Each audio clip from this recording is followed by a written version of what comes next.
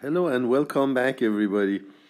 Uh, here we have an example of a kinetic problem in polar coordinate system. The diagram shows a catapult design that consists of a disc which is welded to a frictionless rod and we have this uh, steel weight that can freely slide uh, along the rod initially let's say the steel weight is glued to the rod and it cannot move relative to it.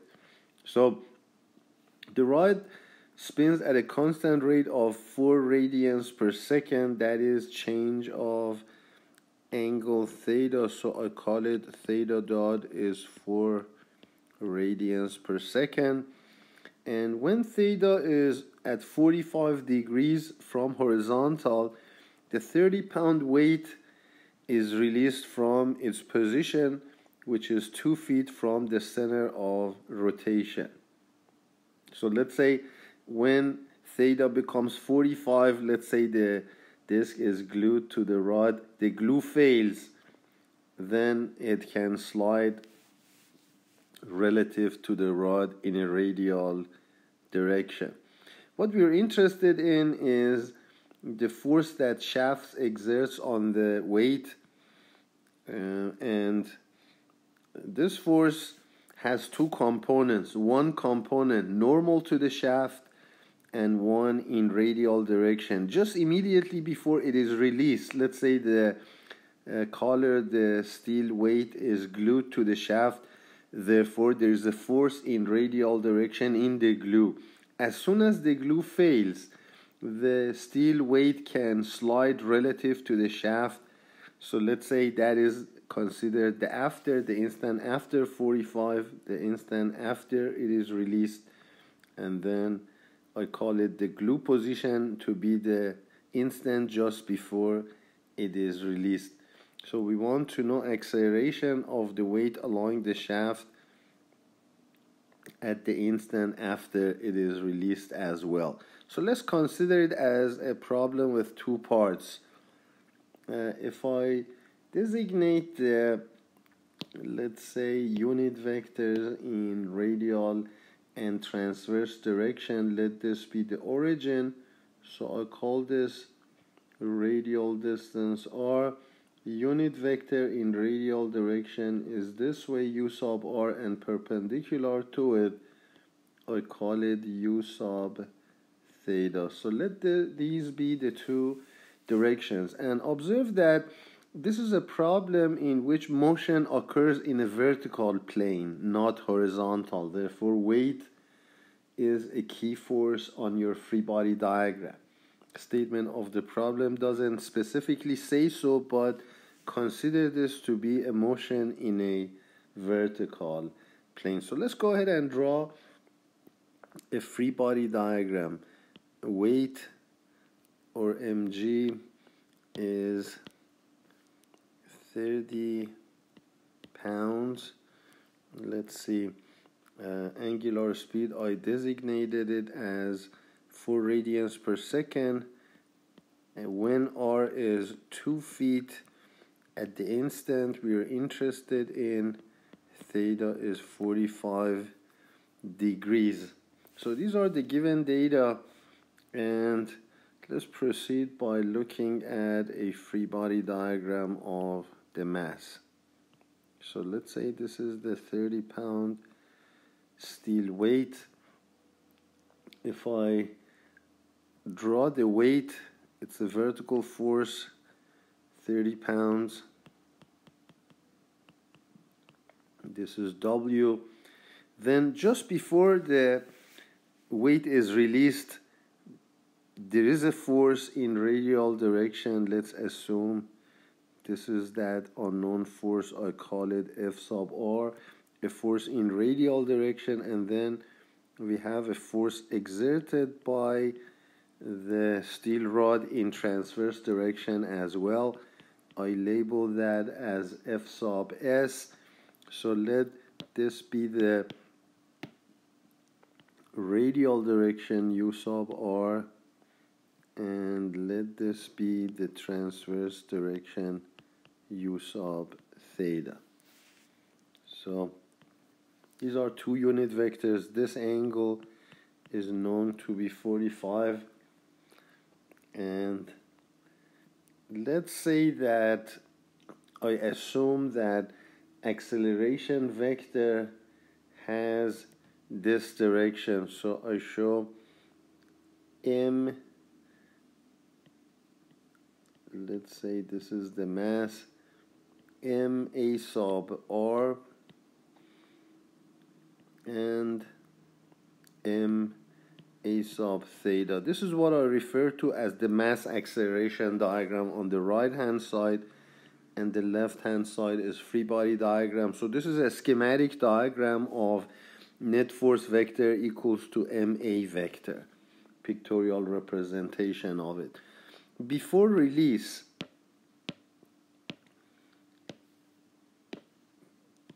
before release we have this free body diagram. So let's write equations of motion. Net force in radial direction equals to m a sub r. And recall that well let's let's choose or show the positive direction next to our equation. So I have based on the diagram minus fr in negative direction minus radial component of the weight that is 30 cosine 45 these are the only forces on the left diagram. And on the right hand side diagram I have m which is 30 divided by 32.2 times radial component of acceleration. Recall from your kinematics that it is r double dot minus r theta dot squared. Well, before release, distance r is fixed. Therefore, second derivative of r is 0. r is 2 feet. Theta dot is 4. So I can plug these numbers in this equation and solve the equation for the only unknown f sub r. If I do so, after numerical calculation, I get a value of 8.6 pounds. Now, before there is any relative motion between the weight and the rod, I still have another force that I should find, net force in transverse direction. So let this equation be our guide. I choose positive in the direction shown. Net force in theta direction equals to ma sub theta. In transverse direction, I have two forces. One is positive Fs minus weight has a negative component which is 30 sine of 45 equal to m a sub theta m is 30 divided by 32.2 and a sub theta recall from your kinematics I'll write it here a sub r is r double dot minus r theta dot squared. A sub theta is r theta double dot plus 2r dot theta dot since the angular uh, speed is constant, its derivative, which is theta double dot, is zero. Before release, since r is a constant of 2, r dot is zero. Therefore, the right hand side of this equation becomes zero. I can solve this equation for fs, which is simply 30 sine of 45, and this turns out to be 21.21 pounds. So let's go to the next slide and see what the forces will be after the glue fails that is when there is relative motion between the rod and the steel weight at the position when theta is 45 degrees. So let's draw a free body diagram representing the forces. Um, here I draw, sorry, I draw this as the steel weight. Um, the unit vectors u sub r and u sub theta are in these directions. Weight is still a vertical force of 30 pounds making a 45 degree angle with the radial direction. Well, after it is released, that is when the glue fails. There is no F sub R, therefore, after release, F sub R is 0. So then what I want to do is show a complete free body diagram. I have shown the known force which is the weight but observe that there is a force exerted by the rod on the steel weight in transverse direction which I call Fs again. So writing the equation in transverse direction net force in transverse direction equals to m a sub theta. So I have let's see f sub s which is positive minus 30 cosine of 45 so I should say minus sine of in this case it doesn't matter because sine and cosine of 45 are the same. But if you strictly want to be correct that component is 30 sine 45 equal to m a sub theta which is r theta double dot plus 2 r dot theta dot. So observe that again as we mentioned before since angular speed is constant theta double dot is 0 but observe that at that instant when theta is 45 r is still 2 and therefore this is 0 in other words initial velocity relative to the rod that's what r dot is is 0 therefore as before. I get a force of let's see. I get a force of um, how much? 21.2 one pounds. So this is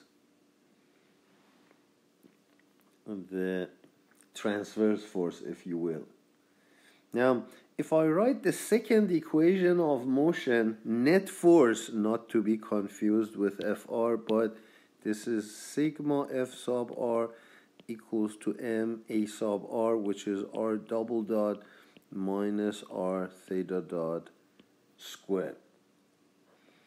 Okay. Now, in radial direction, observe that based on my free body diagram, I have 30 cosine 45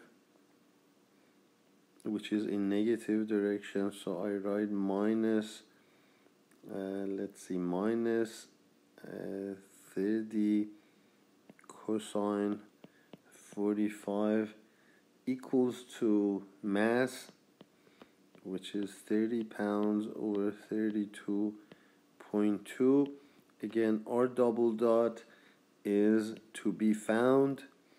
And I have r and theta dot squared so I write r double dot minus 2 times 4 squared. So this equation has only one unknown I can solve for. And if I do so I get r double dot equals to uh, let's see. Uh, minus 30 cosine 45 times 32 over 30 plus 4 squared is 16 times 2 it gives me 32 therefore I can now get a final numerical value which is r double dot 9.23 feet per second squared now this is an acceleration in radial direction, but it should not be mistaken with A sub r. A sub r, eh, A sub r is the total acceleration in radial direction. This is part of it, r double dot, which can be interpreted as the relative speed, relative, not the speed, sorry, relative acceleration of the steel rod, uh, I mean, of, of the steel weight with respect to the rod. So it is actually a relative component, not a sub r. Thanks for watching.